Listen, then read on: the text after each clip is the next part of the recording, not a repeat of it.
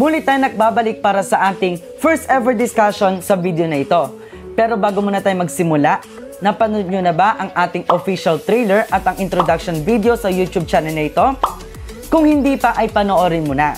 Hinihikayat din kitang mag-subscribe at pindutin ang notification bell button para lagi kang updated sa ating mga videos na i-upload every Thursday and Saturday at 6 o'clock PM. Kung napanood mo na ang ating introduction video, di ba sinabi ko doon na wala tayong lapel? Ngayon ay meron na tayong lapel! Yay! Thanks be to God. So move on na tayo sa ating discussion. Ang pag-uusapan po natin ngayon ay pinamagatang pandemic a year ago. So 'di ba ang pandemic ngayon ay humigit kumulang mag isang taon ng mahigit, 'di ba? So ang pag-uusapan natin ngayon ay uh, iba't ibang uri ng pandemic. Um, pinangalanan ko tom different types of great disasters. So una, endemic. Kapag ka sinabi nating endemic, ito ay isang uri ng sakit na nagmula sa isang particular na tao. Kapag ka iyon ay lumala o nakahawa ng marami, ito ay tinatawag ng epidemic. Kapag ka epidemic, ito ay isang uri ng disease na kumalat na o naapektuhan nito ang kabuang bilang ng mga tao sa komunidad at rehiyon. Ngunit kapag ka ito ay kumalat pa hanggang sa marami ng naapektuhan, ito ay matatawag ng pandemic. Ang pandemic ito ay um, nakaapekto hindi lang sa iisang bansa, kundi sa iba't ibang kontinente sa buong mundo na uh, ibig sabihin nun. Meaning, um, ang sakit na ito ay um, talagang kumalat na as in marami nang nakahawa, marami na ang nabiktima nito. Kapag ka ito ay uh, tumaas, uh, tumaas yung at yung cases o yung yung mga positivity, positivity rate at yung death toll, ito ay matatawag ng outbreak. Uh, pagka-outbreak ito ay yung hindi na mapipigilan yung paglobo ng mga bilang ng mga nakakasakit at pagtaas ng mga cases ng mga namamatay o yung mga nadadala sa ospital. Pero ang pinakaseryoso pa o mas pinakamalala pa sa pandemic ay ang tinatawag na plague. Ang plague ito po ay isang um, isang uri ng serious bacterial infection na nakamamatay.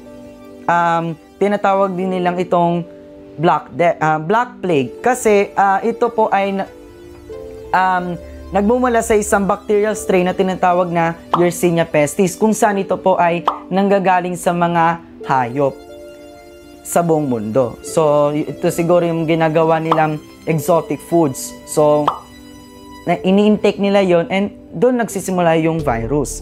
So, punta tayo sa world history ayon sa timeline ng pandemic. Ang first record ng world history according sa pandemic ay Athens noong 430 BC na two-third of, pop, of the population, population are, ay namatay.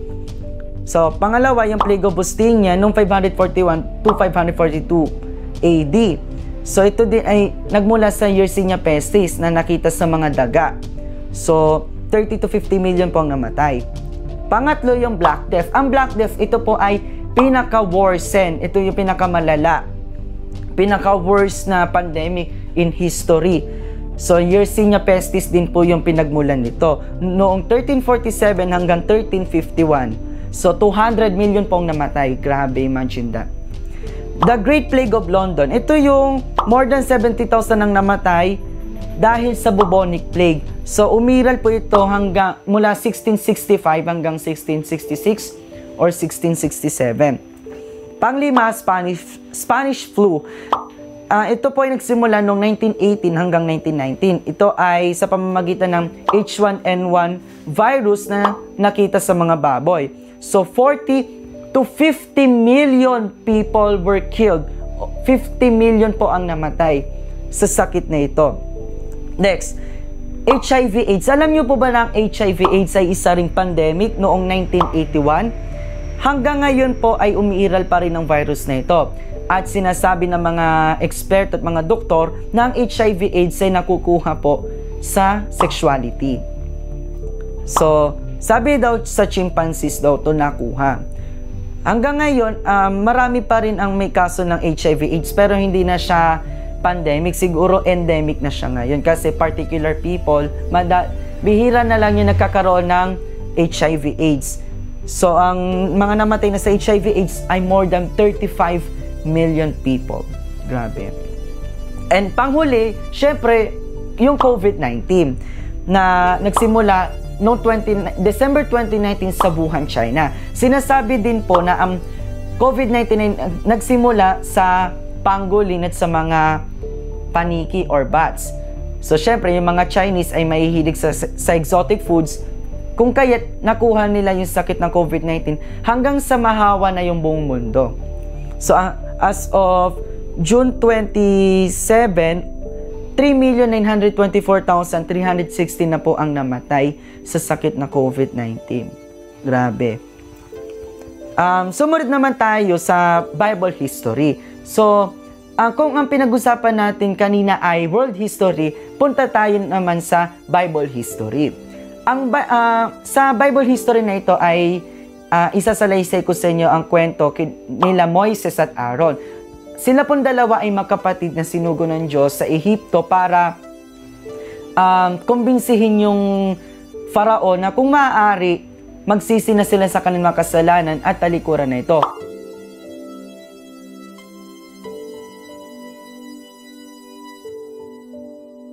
Ngunit sa, sa dahil sa kadahilan ng umiiral pa rin po sa kanilang kasalanan, kung kaya't ibinigay ng Diyos sa kanila ang mga salot na ito. So isa-isahin natin. Ang unang salot ay naging dugo ang tubig. Pangalawa, napakaraming palaka. Pangatlo, niknik. Pang-apat, langaw. Di ba nakakadiri langaw? Panglima, pagkamatay ng mga hayop. Pang-anim, mga pigsa. Pangpito, ang malakas na ulan ng yelo. Pangwalo, ang mga balang. Pangsyam, ang kadiliman sa, I- sa Ehipto. At ang panghuli, namatay ang lahat ng mga pangani ng mga Egyptians, mga Ehipsyo. Grabe. Dahil lang sa katigasan ng ulo ng Faraon, sa isang, I think one week yata yung nangyari or di ko alam kasi kung ima- uh, imagine natin na nandun tayo sa sitwasyon na yon sampung salot iba't ibang salot ang naranasan ng mga Egyptians. 'Di ba? Nakaka mas malala pa siya sa COVID-19, mas malala pa siya sa Black Death, mas malala pa siya sa Spanish flu, 'di ba? Grabe. Hanggang sa matapos yung sampung salot na yon, pinalaya na ng Faraon ang mga Israelita. At ang 'di ba syempre yung mga Israelita kasi po nung uh, nung kapanahon nila Moises ay uh, alipin ng mga Ehipsyo. So, um, bakit natin pinag-usapan ng pandemic? 'Di ba yung pandemic eh marami siyang naging lesson sa atin.